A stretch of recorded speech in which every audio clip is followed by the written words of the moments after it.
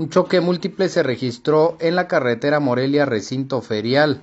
No hubo personas lesionadas, únicamente daños materiales. Los automotores involucrados fueron una camioneta tipo estaquitas con matrícula de esta entidad federativa, una camioneta con placas MU 2677H y un coche SEAT de color rojo con láminas de esta entidad federativa. Los elementos de la policía de Morelia acudieron al sitio para apoyar en las labores de auxilio y abanderaron la zona para evitar otro percance. Unos paramédicos locales también llegaron y valoraron médicamente a los pasajeros de las unidades, mismos que no requirieron hospitalización.